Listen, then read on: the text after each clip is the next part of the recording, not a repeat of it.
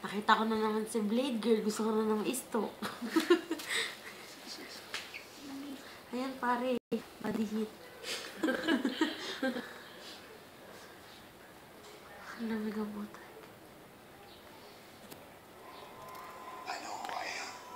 Huwag kasi kayo maingay.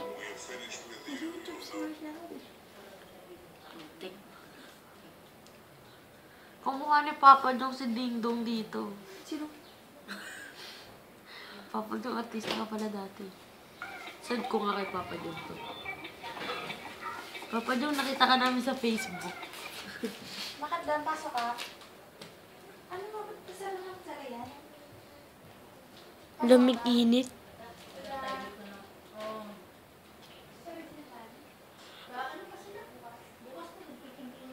Ang lag na nagbi...